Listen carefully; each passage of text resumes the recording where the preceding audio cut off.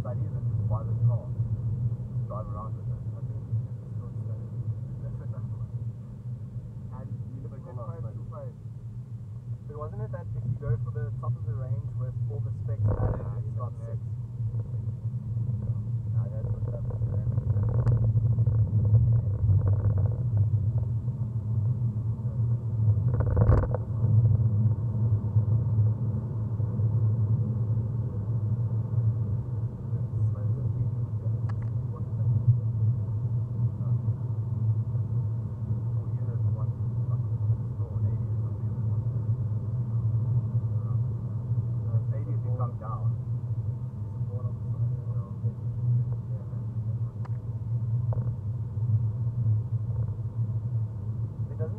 have like its own built-in GPS in that number.